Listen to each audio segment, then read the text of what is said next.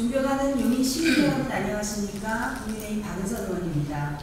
금일 본 의원은 복잡하게 얽힌 용인시 일부 공유재산 관리 체계의 재정비와 시민에게의 환원을 당부하고자 합니다. 먼저 용인시 수지구 포문대로 37에 위치한 광교지구 역사공원 및 그 관리동에 대해 말씀드리겠습니다.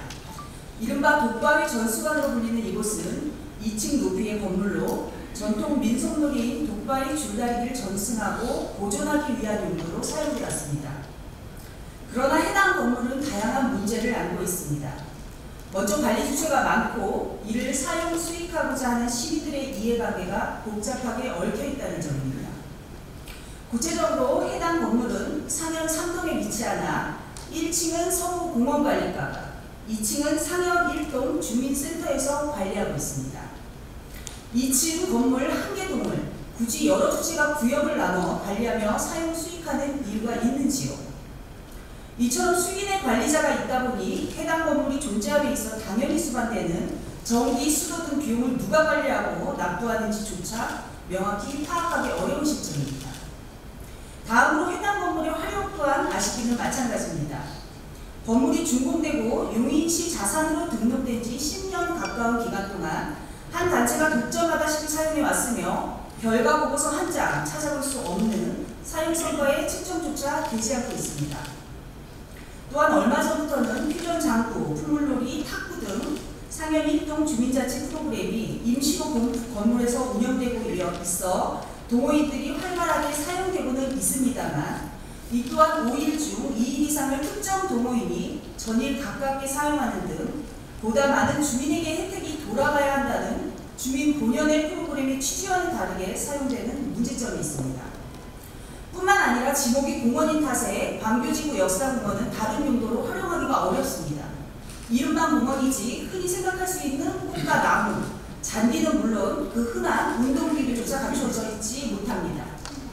바닥은 아스팔트로 포장돼 공원으로의 기능은 정상적으로 작동되지 않는 사실상 버려진 땅입니다.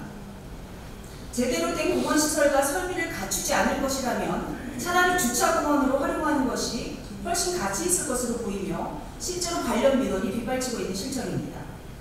용인시는 어째서 해당 건물과 공원 용지를 시민들에게 실속 있게 활용할 수 있도록 노력하지 않는 것입니까? 수지구 풍덕천동에 있는 임진산성 유적전 시간 또한 마찬가지입니다. 임진산성 유적전 시간은 기부 체납을 통해 02년 용인시가 소유하게 됐습니다. 건립 이후 얼마간은 목적에 맞게 쓰임이 있었으나 11년 이후로는 해당 건물은 전 시간의 기능을 상실한 채 공실로 남아있고 이후 공유재산 활용 계획에 따라 생활복합센터를 건립, 생활복합센터 건립을 추진하고 있으나 진행되고 있는 실정입니다. 이 과정에서 관리 주체는 수지구청에서 문학과, 문학과에서 회계과를 거쳐 지금은 아동 보육과로 변경되어 있습니다. 이들 공유재산의 공통적인 문제점은 관리 주체가 명확하지 않다는 점과 어떻게 활용하겠다라는 목적의식 없이 표류하고 있다는 점입니다. 이 같은 상황에서 본의원은 두 가지를 강조드리고 싶습니다. 첫 번째, 관리 주체를 명확하게 해주십시오. 여럿이 나눠 관리하고 사용 수익하다 보니 서로 책임을 떠넘기고 제대로 관리하지 않는 것으로 보입니다. 이에 따라 각 공유재산의 사용 수익 목적에 따라 시 차원에서 정리해 줄 필요가 있습니다.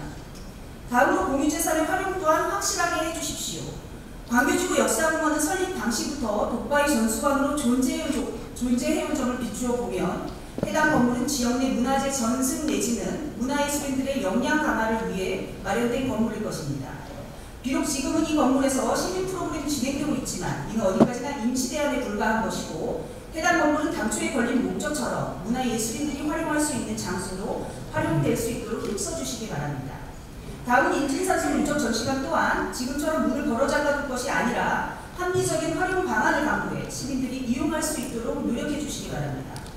시의 공유재산에 대한 관리가 보다 철저하고 그로 인해 시민들이 이익이 오롯이 향유될 수 있기를 바라며 이상 부분 발언을 마치겠습니다. 경청해 주셔서 감사합니다.